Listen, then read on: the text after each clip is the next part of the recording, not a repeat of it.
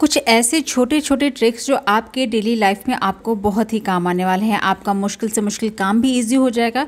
Hello everyone कैसे हैं आप सब? आशा करती हूँ कि आप सब बहुत अच्छे होंगे। तो हर रोज़ की तरह आज मैं फिर से बहुत ही यूज़फुल टिप्स एंड ट्रिक्स लेकर आई हूँ और कुछ अमेजिंग से वीडियोज़ हम देखेंगे। तो वीडियो को लास्ट तक देखिएगा। पसंद आए तो लाइक कीजिएगा शेयर कीजिएगा अपने दोस्तों के साथ। तो चलिए वीडियो को शुरू करते हैं और देखते हैं पहली टिप जीरे का इस्तेमाल लगभग हम लोग हर सब्ज़ी में करते हैं। ये सब्ज़ी का स्वाद बढ़ाता है, खुशबू बढ़ाता है। लेकिन जब भी आप ख़रीद कर जीरा लेकर आएँ उसको कंटेनर में फिल करने वाले हों तो दो काम आप ज़रूर करिएगा।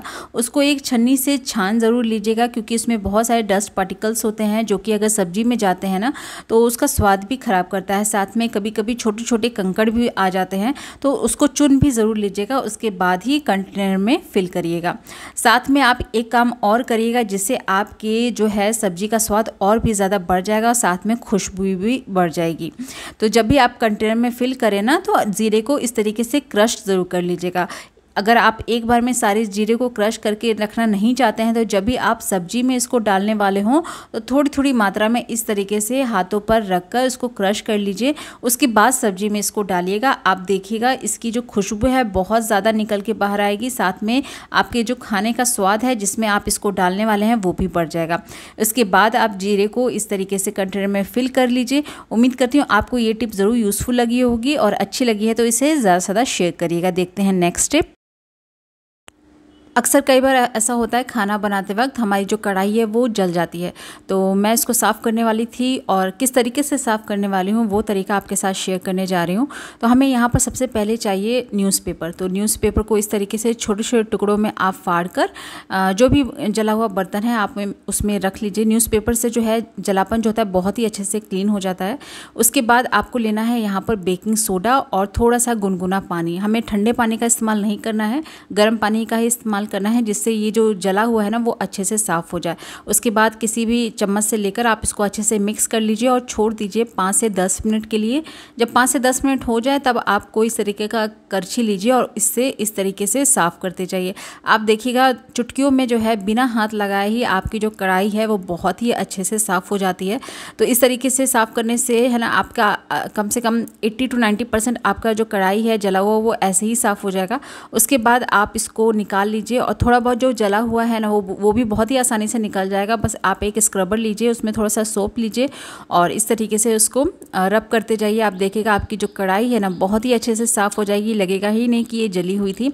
तो यहाँ पर बहुत ही अच्छे से साफ़ हो चुका है। तो चलिए इसको धो के दिखा देती हूँ। तो ये देखिए फ्रेंड्स, बहुत ही अच्छे से जो हमारी कढ़ाई है, वो साफ़ हो चुकी है। तो जब भी आपकी कढ़ाई हो, एक बार इस मेथड से ज़रूर उसको साफ़ करके देखिएगा। उम्मीद करती हूँ आपको ज़रूर पसंद आया होगा। चलिए देख लेते हैं हमारी अगली टिप कौन सी है।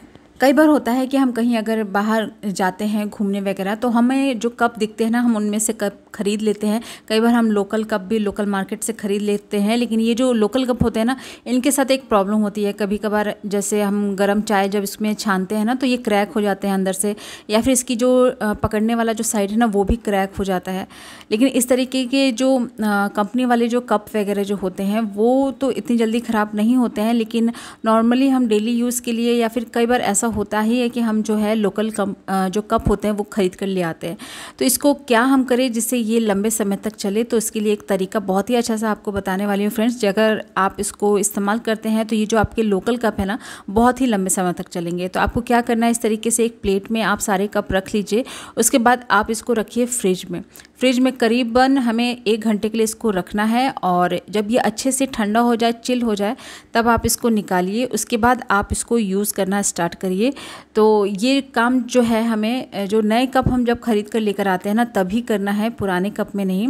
क्योंकि नए कप जब होते हैं ना तो जब हम उसको इस तरीके से फ्रीजर में रख देते हैं तो उसका जो बेस होता है बहुत ही ज़्यादा स्ट्रॉन्ग हो जाता है।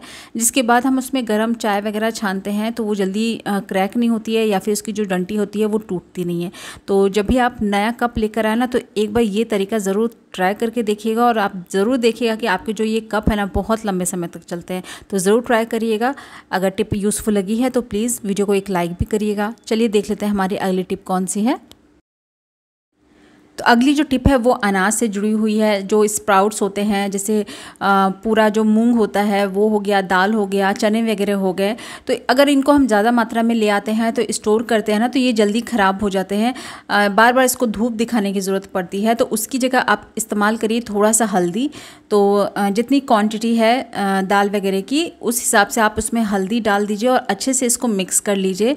तो हल्दी जो है, वो बहुत ही अच्छा प्रिजर्वेटिव का काम करता है। अलग से आपको कोई भी इसमें धूप वगैरह दिखाने की ज़रूरत भी नहीं पड़ेगी और ये जो अनाज होते हैं ना काफ़ी लंबे समय तक चलते हैं। तो ये बहुत ही पुराना तरीका है जो पहले के ज़माने से इस्तेमाल किया जा तो रहा है। इस तरीके से आपके जो अनाज है वो जल्दी ख़राब भी नहीं होंगे और अलग से इसको आपको धूप दिखाने की ज़रूरत भी नहीं पड़ेगी। तो उम्मीद करती हूँ टिप ज़रूर यूज़फुल लगा होगा ज़रूर ट्राई करिएगा और यूज़फुल लगी है तो इसे ज़्यादा से ज़्यादा शेयर करिएगा।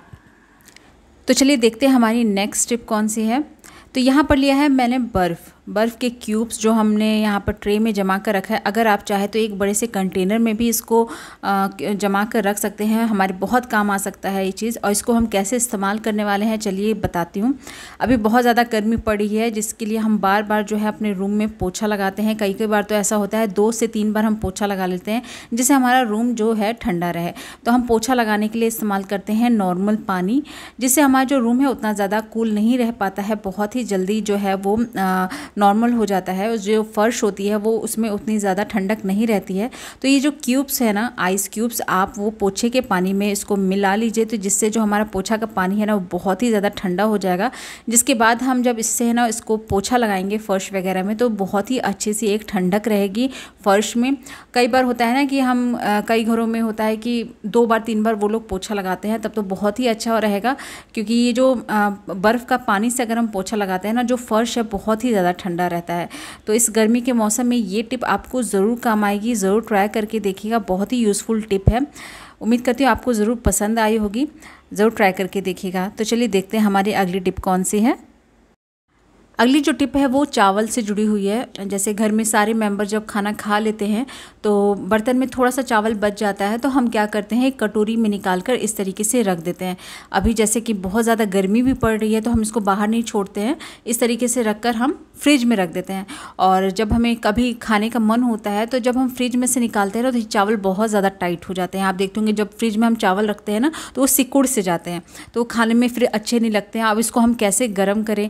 अगर हम पानी रख कर इसको गर्म करते हैं तो इसका जो स्वाद है वो ख़राब हो जाता है। तो उसकी जगह आप इस तरीके का पॉट ले लीजिए जिसमें हम रोटी वगैरह रखते हैं और उसमें थोड़ा सा ज़्यादा गर्म पानी आप रख दीजिए। रखने के बाद जिस भी बर्तन में आपने चावल रखा है ना, वो जो बर्तन है, कटोरी है, वो आप पॉट के अंदर रख दीजिए और इसको ढक्कन लगा दीजिए 10 से 15 मिनट के लिए। 10-15 मिनट आपका जब हो जाएगा, तब आप जो है इसके ढक्कन को खोल के देखिएगा।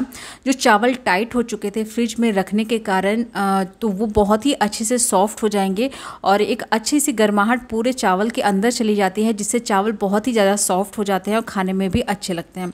तो क्योंकि अभी गर्मी के टाइम है तो जैसे मैंने कहा, फ्रिज में हम लोग रखते हैं तो वो चावल बिल्कुल भी खाए नहीं जाते हैं तो इस तरीके से आप उसको गर्म करके इस्तेमाल दोबारा कर सकते हैं। उम्मीद करती हूँ ये वाली टिप भी आपको ज़रूर हेल्पफुल लगी होगी। अगर अच्छी लगी है तो इसे ज़्यादा से ज़्यादा शेयर करिएगा। तो दोस्तों, यहीं पर आज के वीडियो का एंड करती हूँ। उम्मीद करती हूँ आज के सारे टिप्स एंड ट्रिक्स आपको ज़रूर पसंद आए होंगे। वीडियो अगर अच्छा लगा है तो प्लीज़ इसे लाइक करिएगा और मुझे मोटिवेट करिएगा। अगर आप चैनल पर पहली बार विज़िट किए हैं तो इसे सब्सक्राइब कर लीजिएगा और कमेंट बॉक्स में ज़रूर बताइएगा आपको इनमें से कौन सी ट्रिक सबसे ज़्यादा यूज़फुल लगी है और आप मेरा वीडियो कहाँ से देख रहे हैं ताकि मैं जान सकूँ मेरा वीडियो कहाँ तक गया। कल फिर मिलती हूँ ऐसी एक नए वीडियो के साथ कुछ नए टिप्स एंड ट्रिक के साथ। तब तक लिए अपना ख्याल रखिएगा। Good bye